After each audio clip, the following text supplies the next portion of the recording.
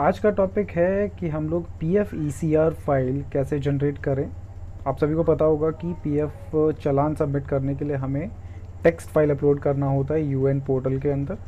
तो उस text file को हम एक्सेल से कैसे जनरेट करें, उसके ऊपर मैंने आज ये वीडियो बनाई है। तो गाइज़ वो टेक्स्ट फ़ाइल जनरेट करने के लिए हमें बस पाँच स्टेप्स फॉलो करने होते हैं। तो पहला स्टेप होता है जिसमें कि हमें डेटा को P F E C R file format में इंसर्ट अब करना होता है। आपका जो भी डेटा है ई सी आर फॉर्मेट का, वो सारा डेटा आपको उसके अंदर इनपुट करना होगा। तो गाइज़ जो डेटा है, मैं आपको दिखा देता हूँ। पी एफ़ आर का ये फॉर्मेट है राइट ये फॉर्मेट आपको इजीली इंटरनेट पे कहीं भी अवेलेबल हो जाएगा और पी एफ़ की साइट पे भी आपको बहुत इजीली मिल जाएगा। और अगर आप लोग चाहते हैं तो ये सेम जो लिंक है, मैं आपको शेयर कर दूँगा। वहाँ से आप डाउनलोड भी कर सकते हैं।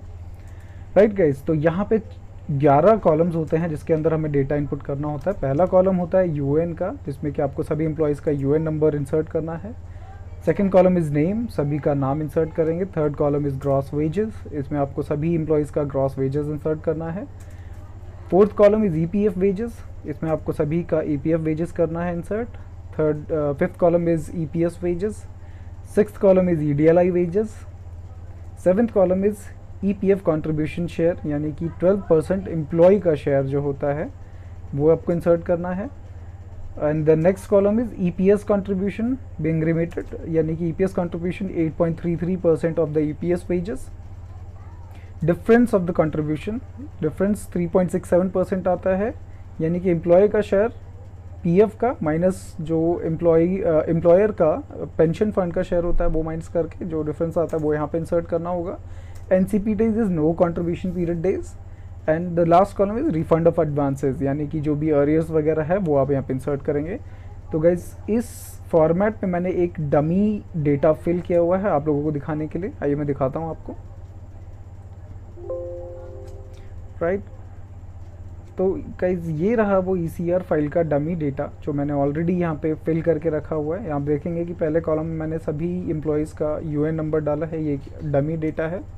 राइट फिर सबका एक डमी नेम इंसर्ट किया है। ग्रॉस वेजेस मैंने एक लिए हुए हैं सभी के। सभी का मैंने फिर पीएफ वेजेस लिया हुआ है ईपीएस वेजेस लिया हुआ है एडीएलआई वेजेस लिया हुआ है।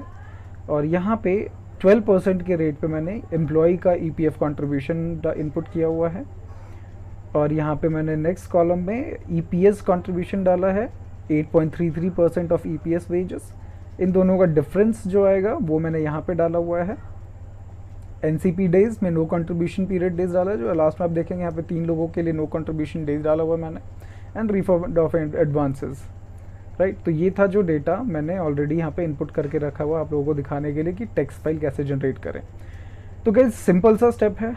यहाँ पे हम लोगों ने फ़र्स्ट स्टेप कंप्लीट कर लिया है डेटा इनपुट कर लिया हमने राइट सेकेंड स्टेप देखते हैं। सेकेंड स्टेप है save the excel file in comma delimited format right C S V comma delimited format में हम इसको सेव करेंगे। तो आइए इसको हम सेव करते हैं कॉमा डेलबिएटेड फॉर्मेट में।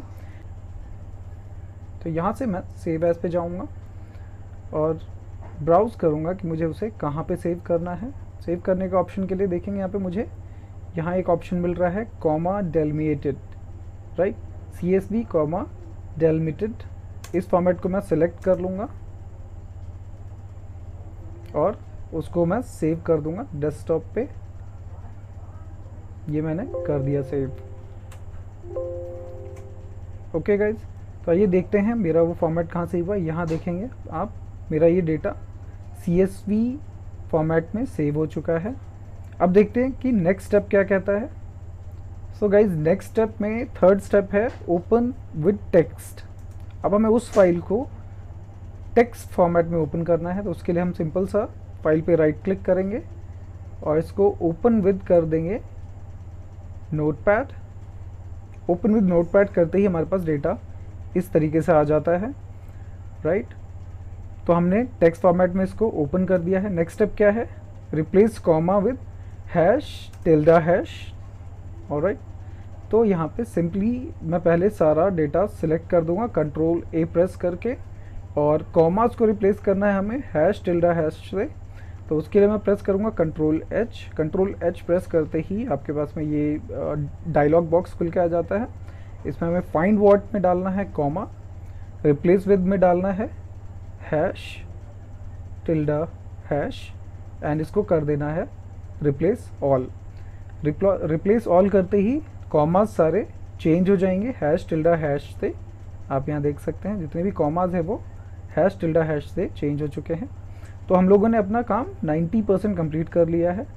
अब जो नेक्स्ट है, सबसे पहला आप ऊपर का हीटर को डिलीट कर दें और मेक श्योर sure कि आपका लास्ट में कोई भी एक्स्ट्रा स्पेस ना हो। तो यहाँ पे आप देखेंगे कि यहाँ पे एक एक्स्ट्रा लाइन है, इसको मैं डिलीट कर देता हूँ और आपका ये फ़ाइल कम्प्लीटली रेडी है सेव करने के लिए। अब मैं इसको सेव कर देता हूँ टेक्स्ट फॉर्मेट में।